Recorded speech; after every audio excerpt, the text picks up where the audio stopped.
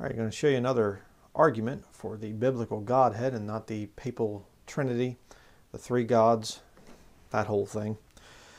Genesis chapter 1, verse 26 it says here, And God said, Let us make man in our image, after our likeness, and let them have dominion over the fish of the sea, and over the fowl of the air, and over the cattle, and over all the earth, and over every creeping thing that creepeth upon the earth. So God created man in his own image. In the image of God created he him. Male and female created he them. Um, very interesting point here. Let us make man in our image. Is our, O U R, our, is that plural or singular? It's plural. It's more than one. Our. I can't say our sermon here right now. Is I can say my sermon because I'm just me, there's nobody else in the room here. If I say our, well, then that's more than just one. But what is image? Image is singular. So our, plural, image, singular. Hmm, how about that? After our, plural, likeness, singular.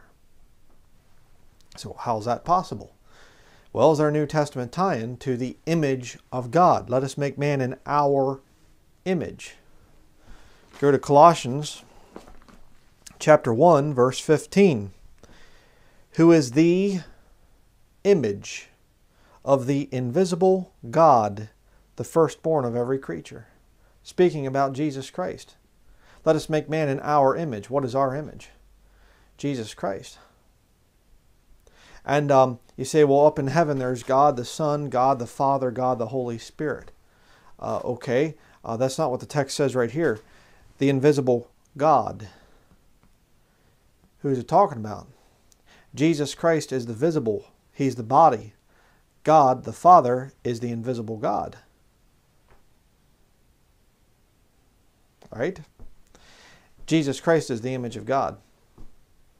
So when you read back in Genesis chapter 1, verse 26 and 27, it talks about, let us make man in our image. What it's talking about is body, soul, spirit, one being. It's just that simple.